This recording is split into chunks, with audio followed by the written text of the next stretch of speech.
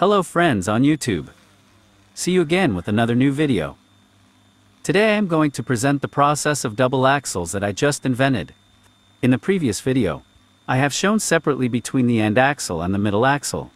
For this video, I will make a joint demonstration between the end axle and the middle axle, including the functions I have installed on the middle axle, to control the end axle as well as the control over the middle axle itself.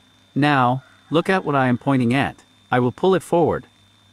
After I pulled it, now look at the drive shaft. It stopped working. So we see that the end axle has been disconnected.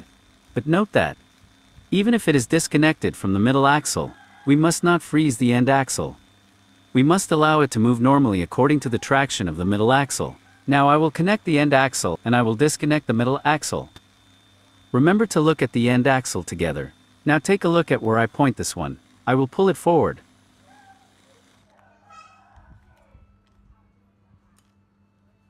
Now I have pulled it forward, and the end axle is also working. Take a look at the middle axle. It is already disconnected. We must also note that the middle axle, as well as the end axle, must not be jammed, but should move normally with the push and pull of the end axle.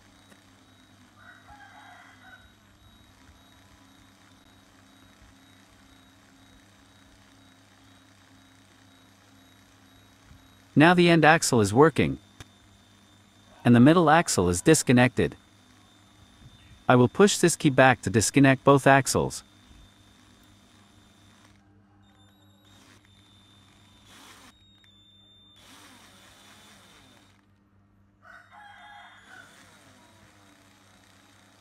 I will now push this key backwards to re-enable both axles. Both axles are now working. Now make a note of all this. Both this place and this one place. I will only pull this one key forward. Now both axles are disconnected.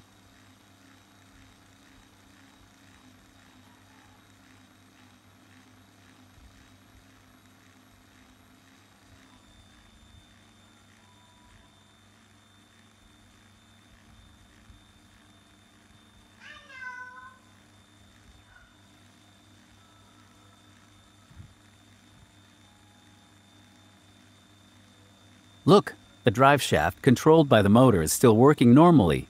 The middle axle and end axle have stopped working, but this drive shaft is still running normally. I still let this drive shaft work with the motor, and I will connect these two axles again.